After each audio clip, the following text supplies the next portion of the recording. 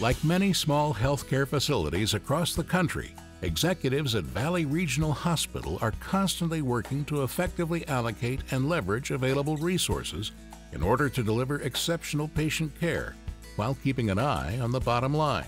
We had various systems throughout the, the hospital.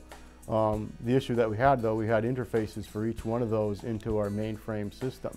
And being a small hospital, uh, we don't always have the staff to be able to just monitor interfaces. For the leaders of this critical access hospital, the growing costs of information technology needed to provide excellent care and meet regulatory standards became a burden that needed to be addressed.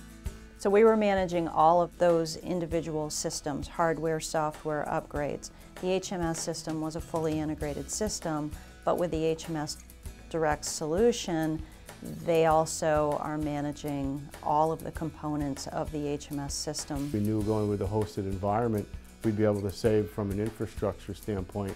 And it's so important being a small hospital, being able to control our cost. Working in a hosted solution, that allows uh, us to not have to worry about upgrades or the back end of the technology.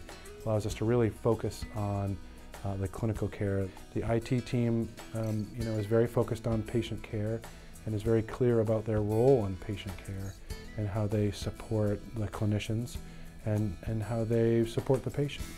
They have people that specialize in meaningful use and they can bring um, you know, you know, the needs and requirements of where we need to be, they know and they've helped us, they've educated us as to where we need to be. We would have been challenged to find enough people to run um, the system in an electronic medical record world. All of the headaches that we had before are no longer there for us. So yes, we, we're very happy with a hosted solution.